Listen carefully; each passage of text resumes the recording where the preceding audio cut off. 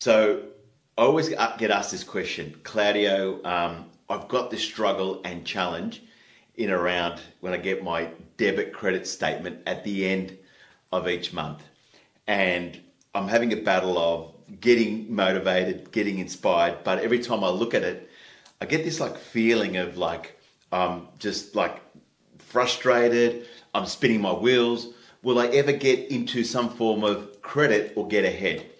I suppose I get it. I understand it. I was a debit credit agent about 23 years ago because that was the going thing at the time.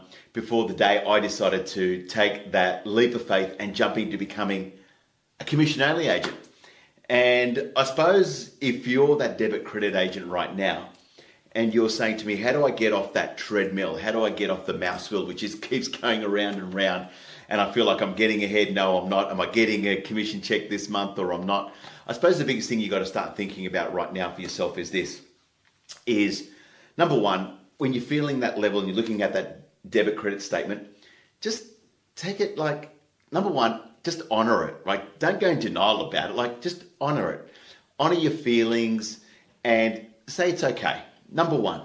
The second thing is that debit credit that's staring at your face, it's there to serve you.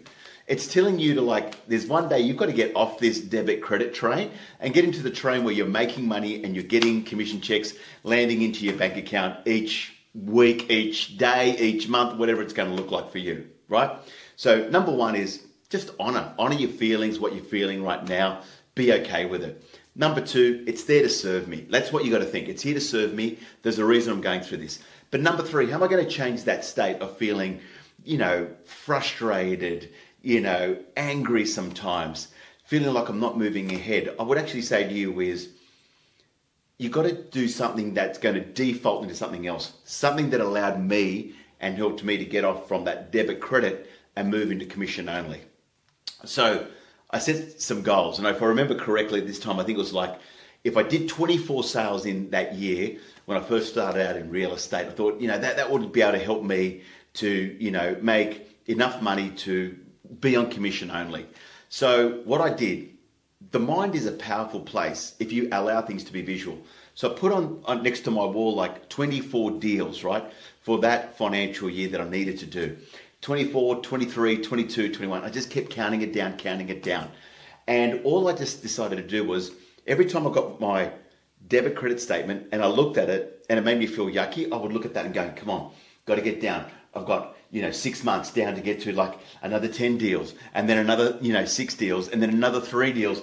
And then I would find myself getting, before I knew it, into a place where I felt a level of freedom. Because all this heaviness that was coming around me was just getting to that level. That's something that could inspire me to move from where I am to where I wanted to go. So you've got to think for yourself right now is what is the default that you do if you're in this debit credit situation? Number one, how do you want to feel when you receive the statement? Are you honoring it? Are you thinking it's here to serve you?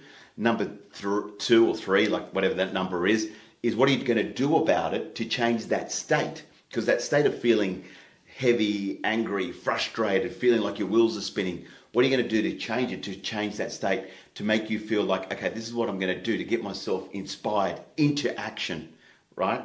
Because moods follow action. How am I going to change that mood from a yucky mood to an inspired mood?